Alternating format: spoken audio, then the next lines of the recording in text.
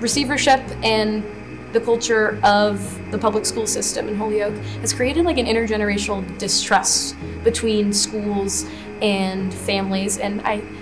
we need not only the power of the union and, and grassroots organizing from rank and file union members to redemocratize the public school system and give students and families a voice.